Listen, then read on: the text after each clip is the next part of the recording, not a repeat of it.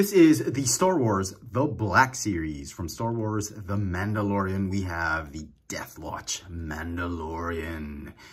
Easily the most sought after figure in the wave after Ahsoka Tano. Man, this figure looks amazing. And here is the Death Watch Mandalorian out of packaging. And boy, did this figure turn out great. It absolutely is one of those spectacular figures that you never think was going to look great once you see it on packaging. I don't know, it could just be me. I'm probably weird, but when I saw this in packaging, I thought, ah, a bunch of recycled parts. This figure is going to be mediocre at best. Didn't really expect much from it, but boy, oh boy, was I wrong. I opened him up. I could not stop posing him. I could not stop playing with this figure. So the figure comes with several accessories. He's got his jet pack. Uh, some of the pieces are soft PVC. The, the main backpack is some harder plastic. It At first glance, I thought they recycled it, but it doesn't seem to be the case because this is the Mando's backpack and it really is different. It's definitely different from Boba Fett because Boba Fett had the longer missile and the, the thrusters were spread out further. So it looks to be a brand new backpack. Somebody let me know if they've recycled this. He's got this really nice blaster rifle with a scope, two handles.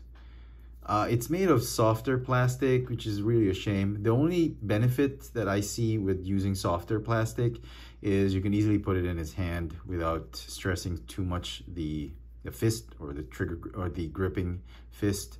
So yeah, it, it it's soft, but you know, it will hold it'll hold its form, its shape. So yeah, just don't don't expose it to heat as much. And then we've got the Mandalorian pistol. This one's a little bit harder plastic. The figure does come with a holster for the pistol. You can squeeze that blaster in and then lock it in. Head sculpt, fantastic. I think it's a brand new sculpt because the, the jawline of the head sculpt is incorporated it's not a separate piece uh, from the helmet. And what's nice about this new helmet is, look at this. The scope actually goes down. I thought this was incredible. Uh, and also you will note that the this bit of plastic that they used for the scope or the targeting array is made of slightly harder plastic. It's actually a lot harder than the gun. So it'll hold. It's not going to lean left or right if the temperature goes up. It's it's it's a pretty rock solid uh, targeting array. You can fold it that way.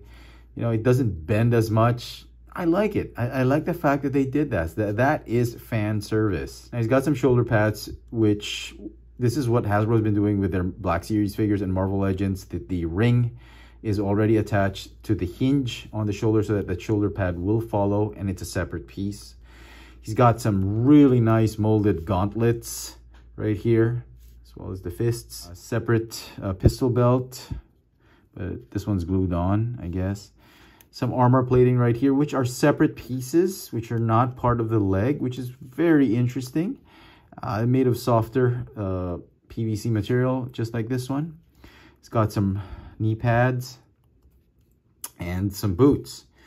The upper torso, I did notice, seems to be molded from the same soft uh, PVC plastic that they've used for the armor plating. So that is interesting. I don't know if it's a combination of something solid inside and then this one's soft PVC. Articulation for the figure, the neck is on a ball joint up top and there's a ball joint at the bottom. Upper torso is on a ball joint. Shoulders can go in and out, forward and backward. Got ball hinge elbows. Wrists, they swivel, and this one goes up and down. This one goes in and out.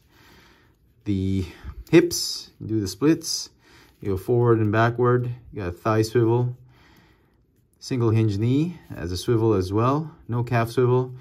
Feet can go up and down and have the rocker tilt. Apps for the figure. Not too bad. Not too bad. There's a ton of white paint apps, but they nailed it with this one. Hardly any quality issues, if at all. if I'm going to nitpick, you got to check the black paint that they used for the helmet.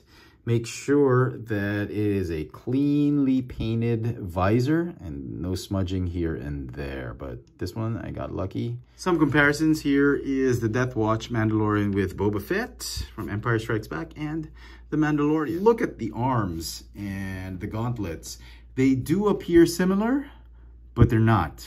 Uh, the the plates on the back of his hand are much smaller than uh, than Din's and uh, the fingers in general are much thinner on this new mold than than this one. Also the plating, you can see it's slightly different. He's got bigger armor plates on his thighs, but very similar uh, looking to, to his plates. The chest, obviously different. I thought the knee guards were the were with the knee rockets. I thought they were a rehash and repaint of Boba Fett's, but they're not. You can clearly see that it's a completely new mold. Boots are new, the helmets are new. It's an entirely new mold, I think. From where I'm standing, I honestly cannot see any recycled bits and pieces here and there. Some final thoughts on this Black Series Death Watch Mandalorian figure. Absolutely blown away with it. The figure is going to get a 10 out of 10. I did not expect this figure to look this great. So happy that we have completely new parts.